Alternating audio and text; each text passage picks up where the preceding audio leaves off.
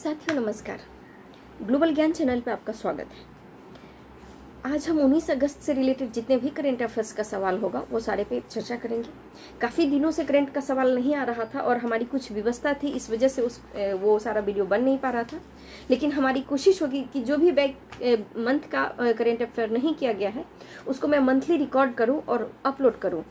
तो आइए देखते हैं, आज से, आज उन्नीस अगस्त से रिलेटेड जितने भी करंट का क्वेश्चंस होगा तो उस पर बात करते हैं। क्वेश्चन नंबर एक है, सिलेंडर लोरिस सिलेंडर लोरिस के बारे में आप क्या जानते हैं? तो यह एक निशाचर प्राइमेट है और यह उष्णकटिबंधीय झाड़ियों और पर्णपाती वनों में निवास करता है। क्या? सिलेंडर लोरिस क्या है ये? सिलेंडर लोरिस है। आइए क्वेश्चन नंबर दो के तरफ़ चलते हैं। क्वेश्चन नंबर दो है, संवाद कार्यक्रम जो अभी अभी चला है, इसके बारे में आपका क्या ख्याल है, क्या जानते हैं? संवाद कार्यक्रम। तो इस कार्यक्रम का उद्देश्य परियत, परित्यक्त और अनाथ बच्चों को मानसिक स्वास्थ्य की सुविधा प्रदान करना है। संवाद एक कार्यक्रम है और इस राष्ट्रीय मानसिक, इसे राष्ट्रीय मानसिक स्वास्थ्य और न्यूरो विज्ञान संस्थान N I M H A N S द्वारा संचालित किया जाता है। तो आपको समझ गए होंगे शॉर्ट में कि संवाद कार्यक्रम क्या है। क्वेश्चन नंबर तीन की तरफ़ हम लोग बढ़ते हैं। तीन है कि किस पहल के परिणाम स्वरूप गुट निरपेक्ष आंदोलन एन ए एम भली भांति जानते होंगे 1961 की ये चीज़ें हैं के संस्थापक सिद्धांतों को अपनाया गया था। तो इसका आंसर है बांडुंग सम्मेलन। इसका क्या आंसर है? बांडुंग सम्मेलन के द्वारा इस सिद्धांत को अपनाया गया था। जिसके अध्यक्ष नेहरू, नासिर और टीटो थे। नेक्स्ट क्वेश्चन की ओर हम लोग बढ़ते हैं। फर्मा परमा फ्रॉस्ट के बारे में आप क्या जानते हैं? परमा फ्रॉस्ट के बारे में आप क्या जानते हैं? तो इसका आंसर है, इसके पिघलने से वायुमंडल में कार्बन डाइऑक्साइड और मिथेन जैसी ग्रीन हाउस गैसें निकलती है। नेक्स्ट क्वेश्चन है, रक्षा परीक्षण अवसंरचना योजना डीटीआईएस के बारे में आप क्या जानते हैं? तो इस योजना का उद्देश्य घरेलू एयरोस्पेस विनिर्माण को बढ़ावा देना है। तो डी टी आई एस एक योजना है। आइए नेक्स्ट क्वेश्चन की ओर देखते हैं।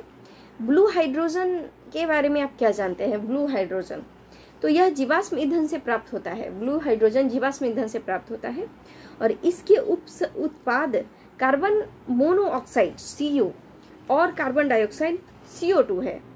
आइए इसको एक बार और रिपीट करते हैं। कि ब्लू हाइड्रोजन क्या है? तो यह जीवाश्म ईंधन से प्राप्त होने वाला एक चीज़ है। इसके उप उत्पाद कार्बन मोनोऑक्साइड गैस सीओ और कार्बन डाइऑक्साइड सीओ टू है। नेक्स्ट क्वेश्चन है कि संयुक्त राष्ट्र सुरक्षा परिषद के बारे में आप क्या जानते हैं? तो यूएनएससी का सबसे महत्वपूर्ण कार्य अंतर्राष्ट्रीय स्तर पर शांति और सुरक्षा बनाए रखना है। अगर एक शब्दों में संयुक्त राष्ट्र सुरक्षा परिषद के बारे में कहा जाए तो यूएनएससी का सबसे महत्वपूर्ण कार्य अंतर्राष्ट्रीय स्तर पर शांति और सुरक्षा बनाए रखना है। लेकिन अभी अफ़गानिस्तान की घटना को आप लोग भली भांति जानते होंगे उसे अपडेट होंगे। तो आपको पता चलेगा कि इसका इसका जो वैल्यू है रिसेंटली कुछ नहीं है। तो नेक्स्ट क्वेश्चन हम लोग बढ़ते हैं। अफ़गानिस्तान देश के साथ कौन कौन सा देश सीमा लग, लगाता है? और ये आने वाले एग्ज़ाम के दृष्टिकोण से काफ़ी ज़्यादा महत्वपूर्ण सवाल हो जाएगा। तो अफ़गानिस्तान देश के साथ जो सीमा लगाती है अभी अफ़गानिस्तान देश के राष्ट्रपति अफसर अफ, अशरफ गनी के बारे में यह कयास लगाया जा रहा है कि वह तजाकिस्तान भाग गया है और कुछ लो, लोगों का मानना है कि नहीं अमेरिका भाग गया है। तो देखिए उसकी जो सीमा है वो है तजाकिस्तान उज्बेकिस्तान तुर्कमेनिस्तान और ईरान। देखिए किस प्रकार आप याद रखेंगे अफ़गानिस्तान की सीमा से सटे पूरे देश की बात करेंगे तो तजाकिस्तान उज्बेकिस्तान, तुर्कमेनिस्तान और ईरान। नेक्स्ट क्वेश्चन की बात हम करेंगे तो प्रधानमंत्री आवास योजना। प्रधानमंत्री आवास योजना शहरी के संबंध में आप क्या जानते हैं?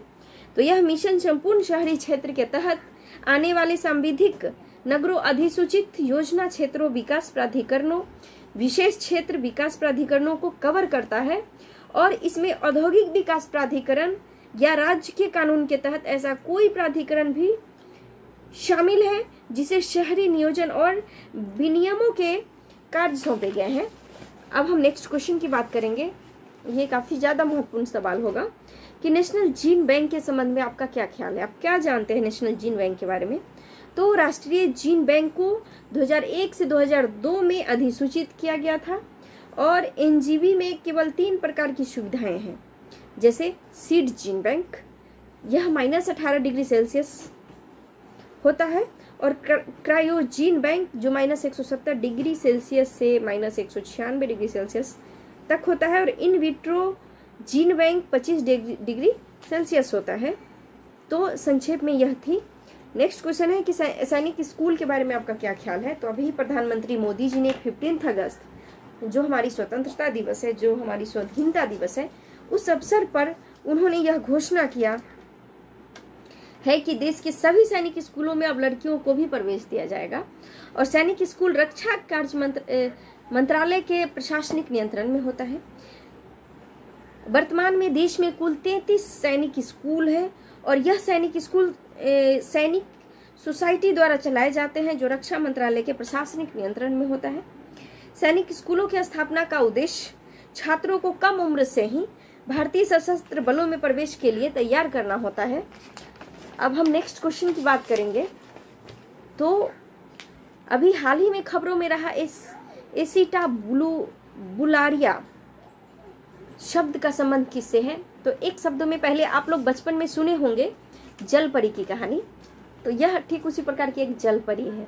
जल परी के नाम पे इस चीज़ को दिया गया है। लगभग चार दशकों के बाद पंजाब केंद्रीय विश्वविद्यालय, बटिंडा के वनस्पति शास्त्रियों के एक समूह ने अंडमान और निकोबार द्वीप समूह से शैवाल की एक नई प्रजाति की खोज की है और इसे एस्टी, एसिटा बुल, बुलरिया जल कन्या का नाम दिया गया है। जल कन्या का नाम दिया गया है। इसका आकार 20 से 40 मिलीमीटर के आसपास है। चमकीले हरे रंग के ये शैवाल छतरी या मशरूम की तरह दिखाई देते हैं। इसकी कैप में पाए जाने वाले खांचे ग्रोप्स 15 से 20 मिलीमीटर व्यास के होते हैं और यह नाम काल्पनिक समुद्री मत्स्य कन्या, यानी जल परी के नाम पर रखा गया है। एसिटा बुलेरिया जल कन्या बहुत ही प्राचीन और एकल कोशिका जीव मानी जाती है। साथियों, आशा करती हूँ यह नॉलेज आपको बहुत ही यूजफुल होगा। बहुत बहुत धन्यवाद। नमस्कार।